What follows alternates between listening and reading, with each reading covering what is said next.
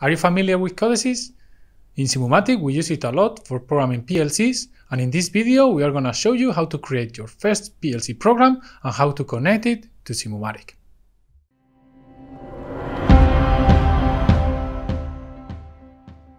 First of all, we are going to open a system in a workspace.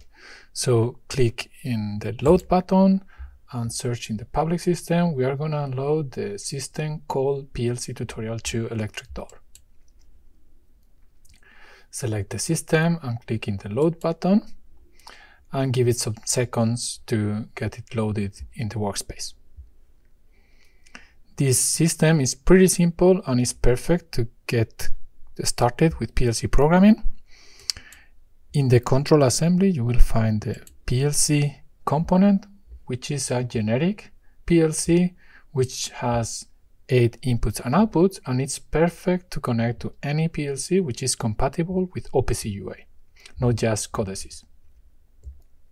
What we need to take care here is that the inputs will be written in a variable called inputs and the outputs will be read from a variable called outputs. This URL is the address in which we will find the OPC UA server in the PLC. So, so now we can open Codesys and we are gonna create a new project. So we are gonna click this icon here and we are gonna select the standard project. So give it a name and just give, them, give it some seconds to get it created. We are gonna select ladder language for creating our first program.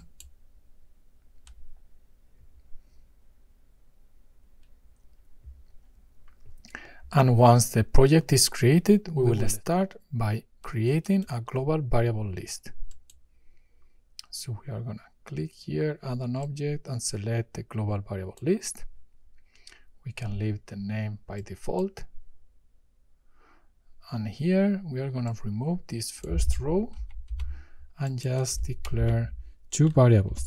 Inputs going to be a byte and outputs another byte.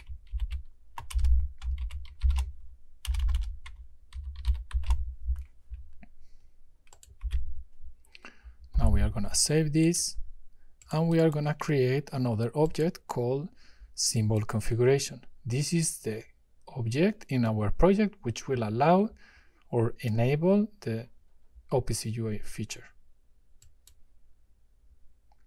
Let's add it and we click on build. If the global variables don't appear here, don't worry, we just need to right click in the global variable list, select the properties and check the and check the option link always in the build tab. Just select OK and try again. Now we should see the global variables here, inputs and outputs. If we check both boxes, we will see that we have access right both to read and write. Now, at this point, we can save the project and we can start the Codesys Control Win soft PLC. So right click on the PLC here in the sys tray and start it.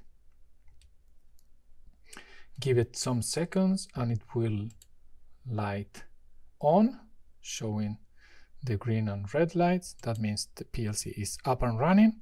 And now we can go online and download the program.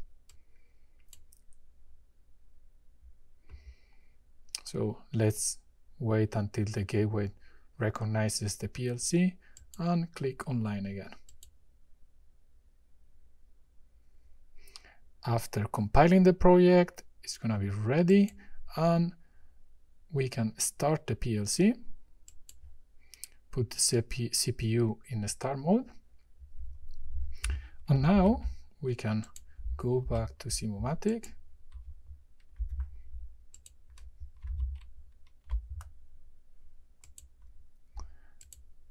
And we can activate the gateway. Make sure it is connected. So we can click play and check if the connection is established. So as we see here, the PLC is running and everything looks okay. So actually now, if we press the button, we can check the values in the PLC. If we check, if we press the button, we will see that the input is activated and the value is changing. We have the first sensor here active and when we press the button the first bit is also activated. We can actually now enter a value to the outputs. For example, if we set 1, we are going to open the door. And if we set 2, we are going to close the door.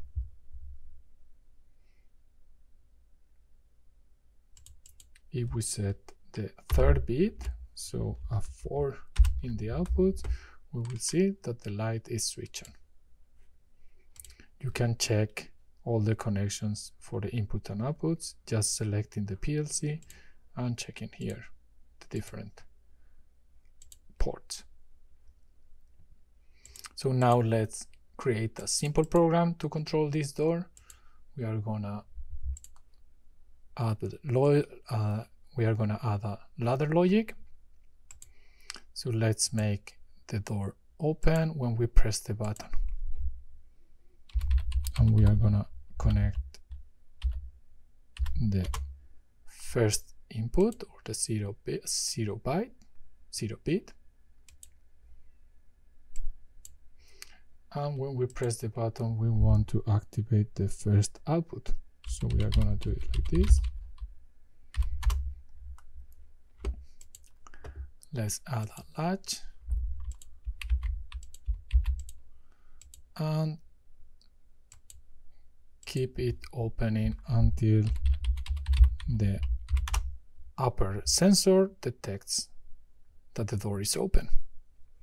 So we can now add this logic and give it a try. Just click on play. Now we can press the button and the door will open until the upper sensor is detected.